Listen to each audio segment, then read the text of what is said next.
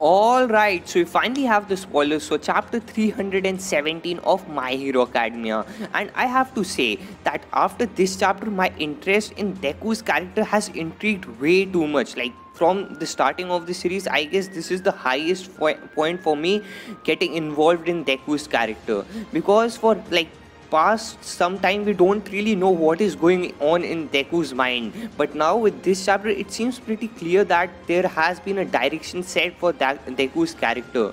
And I think that by uh, like after few chapters after few fights Deku might actually be resigning as a hero.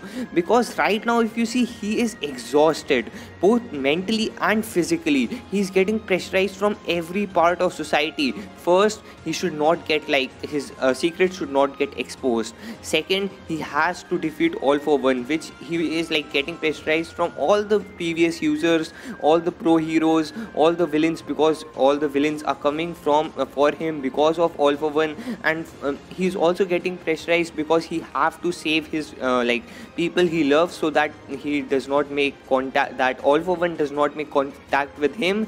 So it seems like he is getting stressed out really really like too much. In fact, All for One also says that he made a mistake telling Deku to fight at his best rather than saying fight while resting.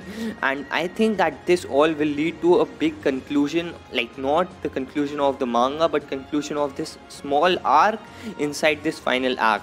But for this i will make a separate video in this weekend uh, like uh, like uh, seeing all this issue and explaining all this stuff about Deku. But in this video we will be covering the spoilers so I won't be uh, talking much about of this uh, topic so make sure to hit that like button and subscribe if you don't want to miss that video and let's get started with the spoilers the title of the chapter is wounds blood and mud the chapter opens with a full page illustration of Deku's face. He has eyes bag and overall looks really tired, both mentally and physically.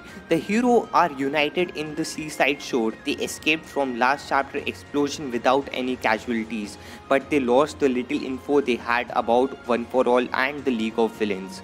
Ed Edgeshot suggested asking Nagant once again that they should interrogate Nagant more to get the info about One for All for One, but Hawk says that she is still unconscious and her body is heavily injured to the point where the doctors from the central hospital were shocked by the fact that she is still alive. Ed Edgeshot says that maybe now it's time to risk it all and tell every single hero from the hero society the truth about One for All in order to uh, from, uh, for gain the information from various people and sources. They should also force on giving support for, for Deku since he is one of the most likely to run into the villains as we have seen so far like it is not really weird that every villain now will be focusing on Deku because of All for One. Continuing forward Death Arms gave up being a hero the day before yesterday. And this is the thing i like. We don't really forget anything about the, uh, like my hero academia. The society aspect of my hero academia is just very amazing to look at. And continuing this we then see a flashback of him talking to the hero customs part by part saying that recently the pupil spectralism has increased exponentially exponentially sorry. Uh, there are still people cheering for heroes but one booing will be always be stronger than 10 cheering like very true. Still in the real world this always happens. He end his speech saying that his thoughts he was a hero but deep down he's only a human. Cutting back to the present they commented that many heroes have given up.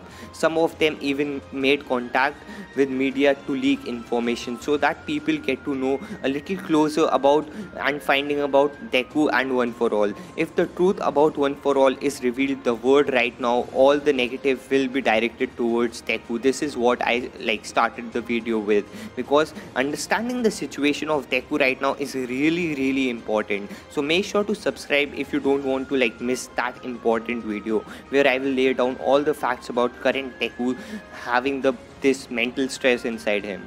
Lady uh, sorry, Mount Lady then asked why All for One hasn't revealed the truth about One for All to everyone yet, and Endeavor concludes that he must have a reason to what he uh, that because of what he is avoiding. Sorry for that.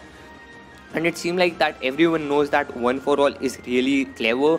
Everything he does has to make sense. Else like one for all won't even like uh, be anything. Because like all one for all has except sorry all all for one has except his quirk is his mind because he's like super villain just because of his mind. Continuing, we see a missed call from Shoto to Endeavor's phone and messaging telling Enji to call him back. He thinks about the talk in hospital and asks him to wait a little longer.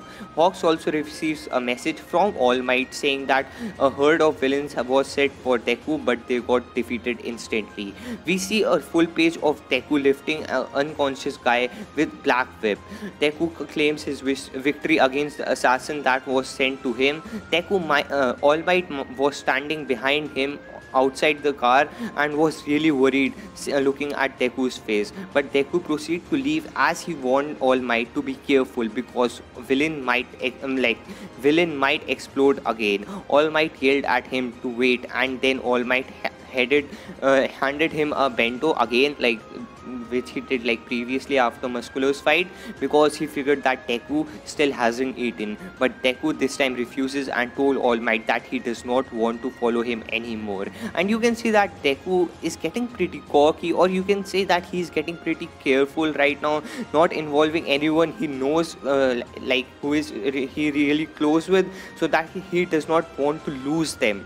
So it seemed pretty good for Deku character actually change but yeah like still it is also a side effect because I can see that Deku is actually isolating him himself so much that he might lose this society just like uh, like Sasuke did and many other mm, anime and uh, antagonists did. So continuing All Might tried to argue but Deku said that he could already move like Deku did in his prime which I don't uh, like see happening because Deku uh, All Might in his prime was really really strong and Deku is not at that level right now. I think that with additional quirks as well now saying saying that without any side effects but why all might doesn't so that's why all might does not have to worry about him continuing the last page all might figured that deku said that because deku does not want him to get involved but all might also remember that he has shown to rise and protect deku. Deku left and all might again once again scream wait but deku uh, but deku like keep leaving and like he does not want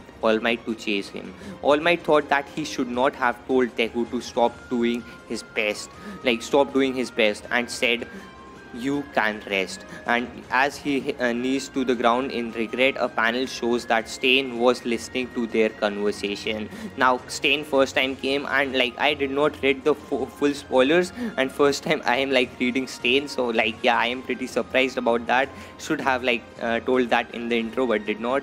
The next panel shows how citizens talk about Deku, describe him as someone who uh, come without a sound and has multiple quirks, so they don't have a positive impact for Deku Deku. They don't actually see him as a hero.